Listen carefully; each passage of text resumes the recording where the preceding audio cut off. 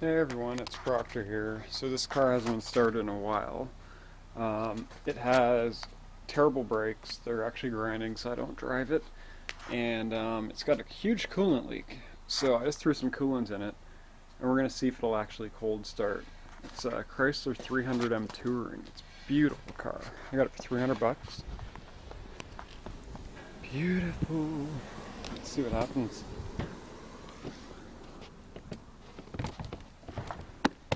Charge up the battery. Let's see what happens. Hope it goes. Got lights, that's a good sign. Here we go. How many K? 230 on it. Wow. That ain't bad.